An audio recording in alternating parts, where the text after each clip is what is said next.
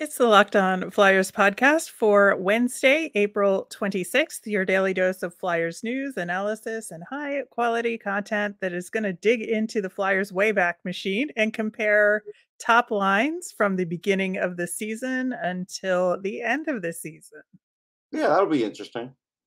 Yeah, plus we'll get to your mailbag questions all on today's show.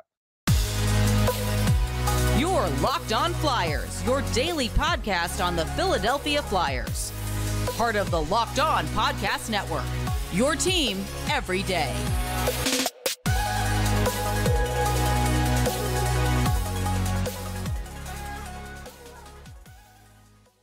Greetings. Uh, thanks for making Locked On Flyers your first listen every day. I am Rachel Donner. You can find me on Twitter at rmiriam. I'm here as always with Russ Cohen, who is on Twitter at Sportsology. This episode is brought to you by Game Time. Download the Game Time app, create an account, and use the code Locked On NHL for $20 off your first purchase. You can subscribe or follow Locked On Flyers for free on YouTube or anywhere you listen to podcasts to get our latest episode as soon as it's available here on the Locked On Podcast Network, your team every day.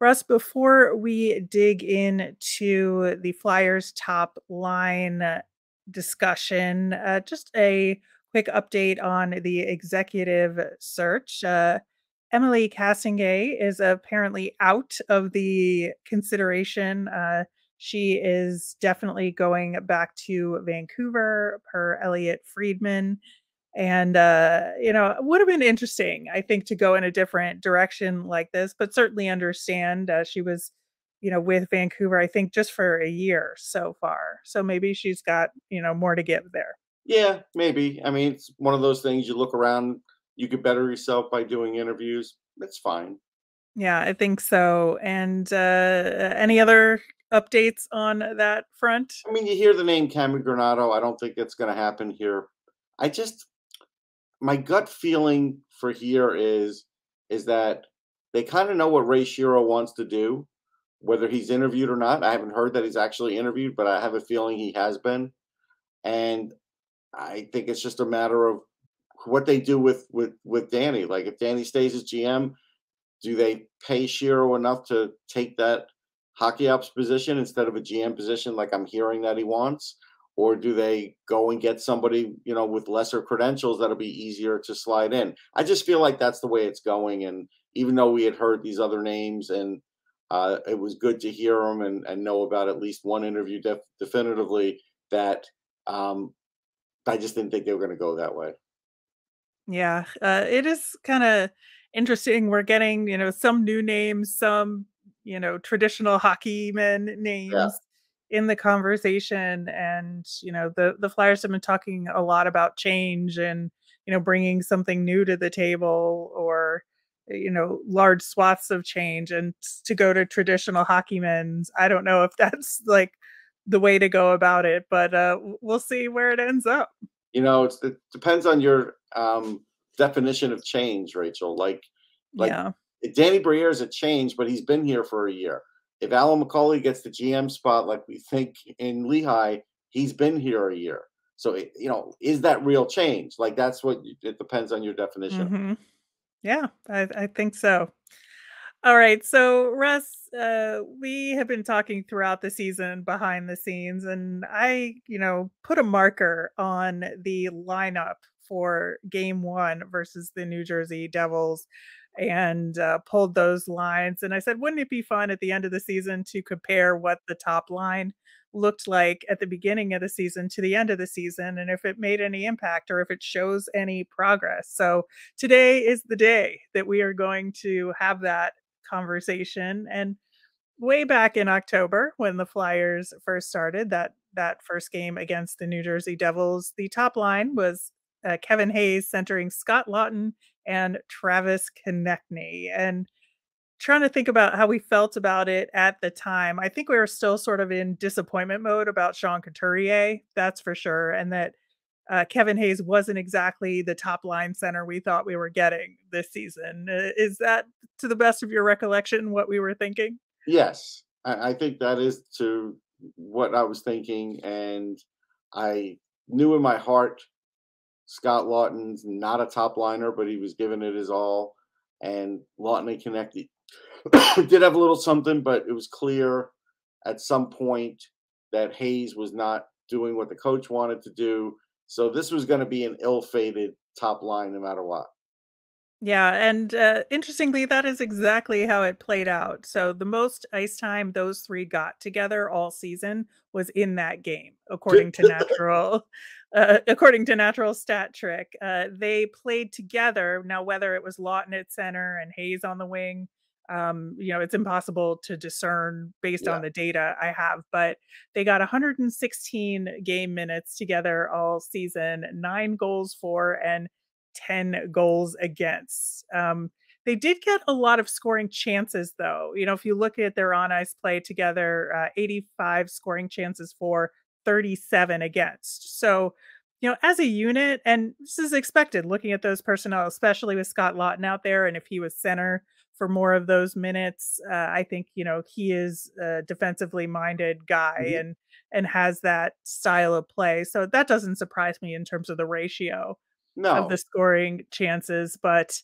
yeah, I think, you know, uh, they definitely deserved more of a shot. yeah, I think they did. I think in the end, it, it certainly would have served the team better. But again, you know, Torts can say whatever he wants, but after a while, it became a little bit of he against Kevin Hayes for, I would say, a stretch of games. Yeah, I, I think that was the big part of it. That um, I, I wouldn't say so at the beginning of the season, especially, you know, Hayes was pretty successful Mhm. on the score sheet uh, for the first half of the season. Obviously, that's No, partially why he got the All Star game bid, you know? Yeah, but there was a point in the first half, even before the All Star game, where it started to go south. Yes, I can't that tell is you true. exactly when, but Yeah, it just wasn't like early in the season when Right. these guys were put together in in Yes. that line. Um, and I think also what was going on at that time is that um, you know, Torts was trying to get used to the team. And also at that time, you know, I think Noah Cates was less of a, a known entity. Mhm. And there was a a large massive pile of doubt about Morgan Frost. And and that's why it was sort of a default situation for Kevin Hayes to get that top, you know, 1C role. yeah, I agree. So if you then fast forward quite a bit to the last game of the season, lo and behold, the top line still have Travis Konecny on it, but uh, it is centered by the aforementioned Morgan Frost, and Joel Farabee is on the left wing. And um, I think, you know, if you look at the ups and downs of the season and the way things went, um, having that line be the top line at the end of the season makes perfect sense. Yeah, I think the way things worked out, I do think it makes sense. Uh, do I think that's the top line next year? Whenever you ask that question, I'll answer it.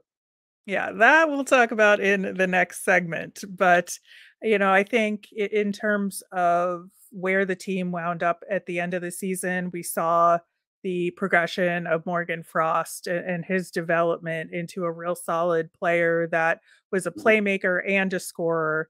Um, unfortunately, because it took them so long to get there, that line, and because of Travis Konecny's injury, um, only got 80 minutes together. Um, and they weren't quite as successful in terms of the scoring chance ratio. But again, I think, you know, if you look at Farabee's play versus Laughton's play, they're just like they're different kinds of players, right? And Konecny was never going to be like that kind of a, a guy to prevent scoring chances um, at five on five. You know, if you look at him, he did get that PK time. That's Yeah, a little bit different. But I think, you know, this team, this line didn't really have as much time to gel. But I do see it as a line that could be impactful given more time. yeah, I, I agree. Um, unfortunately, with John Tortorella, it doesn't take much to break up lines, and that is something Right. that has happened his whole career. He couldn't break up the line in Tampa with Lecavalier Richards and um, who am I leaving out? Lecavalier Richards. Oh, St. Louis. He couldn't break up that line. It was impossible because it was the best line in hockey. But everything else was always up for grabs. Yeah, exactly. So, in our next segment, we are going to dig into what maybe the top line should be or could be, and some other guys that got to dip their toes in the top line pool, so to speak. And we will do that coming up next. Buying tickets to your favorite events shouldn't be stressful. Game Time's the fast and easy way to buy tickets for all the sports, music, comedy, and theater near you. With killer deals on last minute tickets and their best price guarantee, you can stop stressing over the tickets and start getting hyped for the fun you'll have. My favorite part of the Game Time app is that it's great for getting notified about last minute tickets and flash deals. Plus, you can get views from your seats. The Game Time guarantee means you'll always get the best price. You'll find tickets in the same section and row for less. Game Time will credit you 100 and 10% of the difference. Also, tickets are sent directly to your phone so you never have to dig through your email. Snag the tickets without the stress with Game Time. Download the Game Time app, create an account, and use Locked On NHL for $20 off your first purchase. Terms apply. Again, create an account and redeem Locked On NHL for $20 off. Download Game Time today. Last minute tickets, lowest price guaranteed. You can follow Locked On Flyers on Twitter and Instagram at Locked On Flyers. That is where you'll keep up to date on all our episodes. And if you want your mailbag questions answered, like we're doing in the next segment, you can email us at lockedonflyers at gmail, tweet us at Locked On Flyers, or comment over on YouTube. Russ, uh, we were just talking about the top line at the end of the season, which was Morgan Frost centering Joel Farabee and Travis Konecny. And uh, I, I do think they deserved a little bit more time, but again, it was very limited because of Travis Konecny's injury. And uh, in the absence of Travis Konecny, Owen Tippett was given a little bit of time on that top line.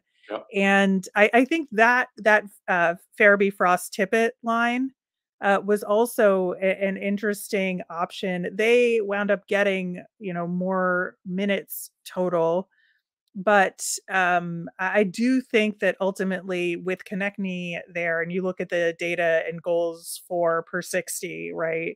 The Farabee Frost Konecny was more successful, and this is all from MoneyPuck um, with 5.41 goals per 60. But Farabee Frost Tippett still pretty successful, 3.64 goals for per 60. And I do think that, you know, Owen Tippett and Travis Konecny, like th- their DNA is similar, but how it presents itself is very different on the ice. Yeah, I think that's fair. Um, I think this has a chance to be the top line next year. It's got a chance. Uh, at least it's been vetted out to some degree. And Mhm. so I don't think the coaching staff would have that much of a problem with it. I don't think you should really ever put Tippett on the top line for a long stretch. So, you know, unless something unforeseen happens, that's probably, you know, pretty close to what your line's going to be. So, and I'm fine with that. I mean, at this point, for the type of team they're going to be next year, it's it's okay. Yeah, and you know, we didn't see many other people get really a whiff at that top line Noah over the Cates for a little bit, you know. Yeah, so we got Noah Cates at center for a little bit. Again, mostly when it was like covering for injuries. Right. Um, and so we saw Noah Cates centering Farabee and Konecny and Farabee and Tippett. So those wings stayed at the same as they were. And, uh, you know, with some mixed results. Now, Cates centering Farabee and Tippett um, didn't get a ton of minutes, only 65 minutes. So it's kind of hard to uh, judge that entirely, but 6.43 goals for per 60. Uh, but they did also allow a lot of goals. Yeah. Uh, so uh, I'm not sure that's a combination that you want to keep together on that top line. But you know, JVR took you know uh, some shifts on the top line again, probably injury related. But uh, I think that uh, there's very little possibility for anything else for this next season, at least in terms of the top line. Now, if they end up trading Travis Konecny, does Owen Tippett get that top spot, or does somebody else get an opportunity in there? Yeah. That's a really interesting question. I think. Yeah, sure. I think that's you know, something you would pontificate. But I still, I still haven't seen enough to put Tippett on a top line, even of a developing team. Yeah. I, I do think, you know, the the Flyers have a certain degree of depth at right wing, but I just that is that is partially why I'm leaning toward tra- uh not trading Travis Konecny, right? Because I just don't think you have somebody to put up top there. I think the depth is there, but they're Yeah. all like middle six guys, right? Right, and I think that's a fair point. Um, the other thing is, you know, Allison's only got one more year, so there's not stability with that. You know, and so I, I think, I think that's that's the issue. I think you're right. It's all middle six talent for now, um, and as Mhm. a result, yeah, he has to kind of stay there. You know, unless he gets traded. If he gets traded, then that's a whole different thing. Then maybe somebody you're getting in that trade goes there. Uh, even if Tyson Foerster, you know, makes the team, you can't put him higher than the second line to start him as a rookie. That would be silly. Right. I, I think so too. And so, you know, I, I think that looking at next year seems like there isn't going to be much change, despite the fact we're talking about massive change in the organization. But I Yeah. think at least for that top line, um, I, I don't see them kind of going outside of that box of Morgan Frost. Now he's got a sign too, but uh, I think you know having Morgan Frost center that top line for now is looking like what it will be next year. Now, if you want to look a little bit further in the future, uh, do you see anybody else in the system that has top line potential? I mean, they're going to hope that Cutter Gauthier does, and and I still think that's a bit of a reach at center. Couldn't- Right. As a winger, I think he could be a top liner, but at center is a different different conversation. So no, I don't think anybody else is battling for that. Now, maybe somebody they get in this year's draft would, and and that's you know a different conversation. Right. I, I think that it seems like if the Flyers did what was in their best interest, they would draft a forward in this upcoming draft in, in for that first Yeah. round pick. And That's where the strength is too. So it kind of would be odd if they didn't. right. There's Right, no, and there's not a lot of strength in defense. There's a, there's a fair amount of depth, but it's not the strength of the draft. Exactly. So hopefully a top 10 pick would be a first line caliber talent in Uh, the we'll find that out NHL. I know. I know. It's always it that's why it's a draft and there's always risk and there's No, I meant even closer than that. I, I saw I peeked ahead at the question, so Well, uh. I I peeked Ah. into the mailbag, Rachel. all right. Well, that is something we will be getting to in our next segment. Uh, but I, I do think that looking forward, if we, I'm very interested to see what happens with Cutter Gauthier. To your point, like, Mhm. are they going to put him into this center box, uh, much like they did with Noah Cates? Like, Cates had had, I think, the four years of college experience to be able to make that transition a little better. But if Cutter Gauthier only plays two years at the college level, and my guess is that he'll stay on wing a little bit more, I just don't know that that transition is going to be as easy for him. No, I agree. Even after two years, if it's solid, if he's coming in right away, Torts might say, go to the wing and you know, may never go off of that. Like, but that's that may be his path to the NHL quicker. So they may accept it. Now, if he wasn't quite ready and you made him an AHL center for a year, I wouldn't have any problem with that. I know some fans would probably grumble, but again, not everybody picks up. You know, the thing about the center position is this: um, the reason like Pierre Luc Dubois was able to pick it up in a season and in, in one, you know, one CHL off season is simply because of his physical nature, and and he is super strong. This kid, Gauthier is not built like Pierre Luc Dubois. He's just not. Yeah. So I, I do think that if Cutter Gauthier has a chance at being a top liner, it's going to be on the wing. And if they want him playing for the Flyers sooner, that's what it's going to have to be. Absolutely. But uh, I think, yeah, obviously that's a conversation for two years from now, I think. Mhm. Uh, but uh, I, I think it's important to think about those things when you're trying to build the roster for next season and Yeah, what the lines are going to like. these things out a little bit and have your your hopes and whatever and that's something that danny has to kind of do on his own because torts doesn't really care more than he Right. you know what's ahead of him he just cares what's sitting there now so you know you do it on your own Yeah. So maybe three years from now, we're looking at a top line that has this year's number one draft pick, Cutter Gauthier and Morgan Frost at center. possible Very possible. So uh, can't you know look too far into the future without some information, but it's No. always good to think about it. it is All right. Uh, much like Russ talked about, we will be getting to your mailbag questions coming up next. All right. So we're going to go back to a question from Brandon that we talked about last week. He was asking about guys that, you know, in the system that will turn pro next year. And we kind of focused on the players that would likely or could end up on the Flyers and what their potential was there he really wanted to know who's going to come in and definitely play for the Phantoms and what that could do for them.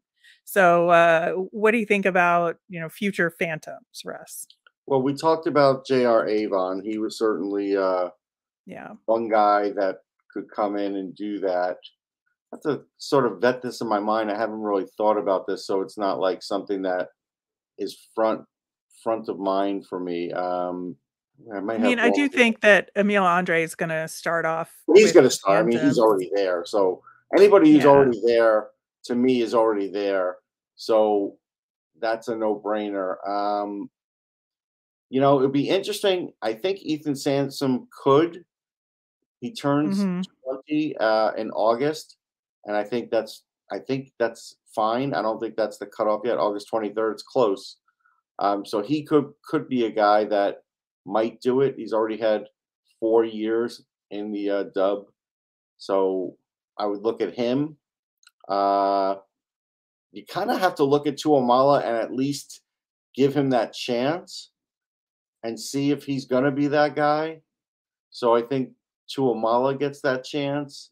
Uh, Yeah, I would with Tuomala. I think like this messing around in the European leagues. I mean, I understand what's been happening there, yeah. but I think ultimately, like, it's kind of a make or break situation, and they have to, like, I think it would be better for the organization and for him if he came over and played for the Phantoms.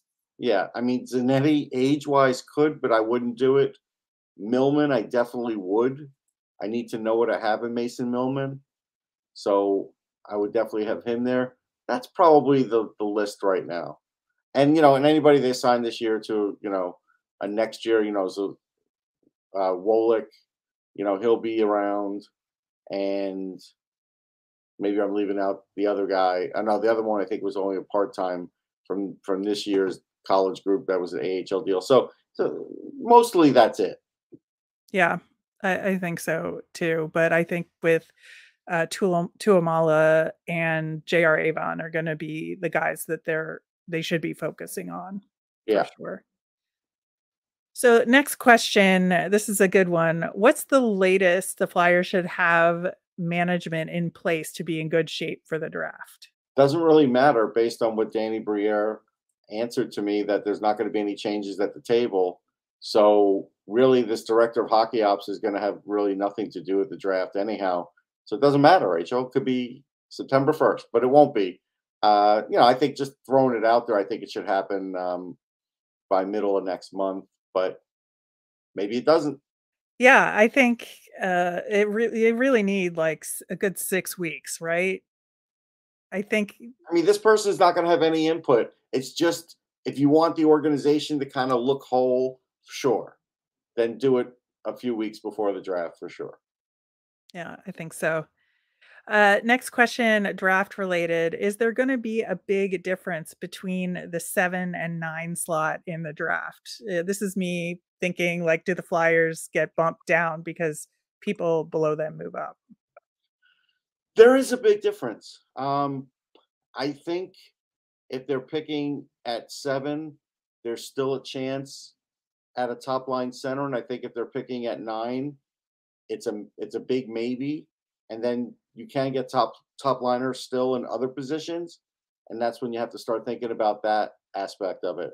So, but I think at that point, for like what we would call today guaranteed, I think they're a, a top line center. I think by nine they're gone.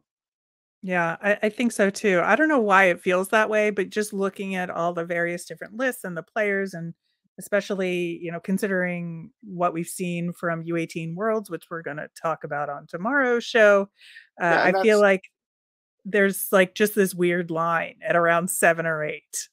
yeah. I mean, look, a guy like Matthew Wood, who's got a long um, trail ahead of him because he's the youngest guy in college hockey and he does play center, but he hasn't played center this year in college hockey. Sure, he could be a, a center possibly in five years and maybe, you know, in six years, a top line center. That's possible, but it's really hard to project that right now.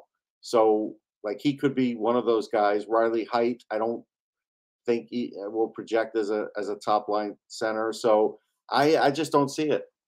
Right. I, I think uh yeah, we we will get into a lot of those guys on tomorrow's show, but I do think that there's going to be a difference. So I'm keeping my fingers crossed with the ping pong balls. Yep. All right. Do you uh, you think that the Flyers are done with any type of signings until free agency opens? So that would include like ELCs and such, right? Yeah, it seems like they are. I mean, it really seems like excuse me that that Torts has put put the clamps on on anything else, and that we're really just talking about waiting until free agency opens, and then maybe something on the back end of the August fifteenth when rights expire. College guys, excuse me. But other than that, it seems like they're done, and I don't know. Like I always think there's guys to add. I know there's I talked about guys, so I'm not going to repeat myself, but um, they're just in this spot now where they feel like they need to subtract before they add, and that's the mantra coming from the coach, and the coach has more power than most coaches in the league, so I'm just going with that. Yeah, I'm not sure there's anybody, you know, now that the Jay O'Brien situation is decided that, you know, you need to rush into an ELC right now. So I, I think that it's just a matter, again, of like booming the pieces around properly and making sure that the guys you want to be in North America or the guys that are going to transition that you've already signed have who are going to transition over from junior like Avon like Ethan Samson, you know, you have all those ducks in a row and have Mhm. decided like what you're going to do on those fronts. Yeah, I agree not necessarily signings. All right, last question from Michael. And sorry we didn't get to this last week. It just came in, I think, right after we recorded. But uh, do you wish the Flyers included a black variation for their upcoming new uniforms? Uh, Michael wants the old black jerseys from the early 2000s. Yeah, How do you feel about those? With some black in it. I, I'm kind of a fa- in favor of. I always think that's a good change off, and it kind of looks good if you wear it. It hides some of the fat if you're a guy. So yeah, I think I, I think I'm in favor of that. Yeah, I like I like the old black jerseys better than like the Stadium Series black jersey, Right. if I that makes agree. sense. I think it needs that like white highlight to it that just black and orange isn't enough. Like uh, Right. even if you have that brighter orange, which I'm excited about the brighter orange. Um, we did talk about that, but Yes. um, I do like if there's like a third jersey. Um, I do hope they bring back that black one. I don't think I liked it at the time. I I seem to recall, but I do like it now, like in retrospect. So I'm here for it. Yeah, maybe they'll put a gritty patch on the third jersey on the new one. They will not. They'll put an ad on it before they do that. All right, that will do it for today's show. Thanks for making us your first listen today and everyday listeners. Tomorrow on the show, we are going to check in on U18 Worlds, how all the different countries are doing, and some individual players specific to the draft. We're going to dig a little deeper into uh, Matthew Wood, who's had an excellent tournament so far. As a reminder, we always want to hear from you. So send us in your mailbag questions at Locked On Flyers or email us at lockedonflyers at gmail. I am Rachel. I'm on Twitter at rmiriam. That's R M I R I A M. I'm Russ. I'm at Sportsology, S P O R T S O L O G Y. Have a great day.